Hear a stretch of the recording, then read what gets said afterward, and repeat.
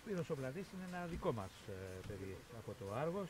Διαπρέπει τώρα στην ε, Τρίπολη σήμερα και σήμερα ήταν μια φανταστική έτσι, εμφάνιση. Ε, κα- καλησπέρα για από μένα. Ήρθαμε να παίξουμε σε μία από τις καλύτερες ομάδες του ομίλου. Το αντικατοπτρίζει και η θέση που βρίσκεται, καθώς βρίσκεται στις πρώτες θέσεις του δημοτικού πίνακα μαζί με την Ηλιούπολη. Πάρα πολύ δύσκολο παιχνίδι. Εμείς θεωρητικά παίξαμε πάρα πολύ καλά, εκμεταλλευτήκαμε τις ευκαιρίες μας στο έπακρον και καταφέραμε και κερδίσαμε. Πολύ δύσκολο παιχνίδι και ευελπιστούμε να είναι καλύτερη και η συνέχεια. Και ευχαριστούμε και τα παιδιά για τη φιλοξενία, ήταν άριστη. Και θα ανταποδώσουμε και στο δεύτερο γύρο.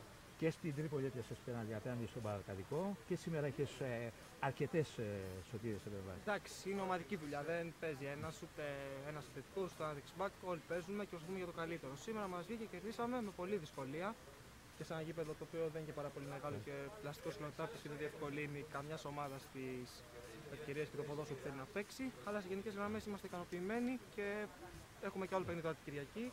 Έχουμε τρία παιχνίδια σε 6 μέρες και πρέπει να φανούμε ακόμα καλύτεροι. Το, το παιχνίδι αυτό τελείωσε. Πρέπει να πάμε την Κυριακή, παίζουμε στον Άγιο Ερώθεο, να πάμε εκεί για το καλύτερο.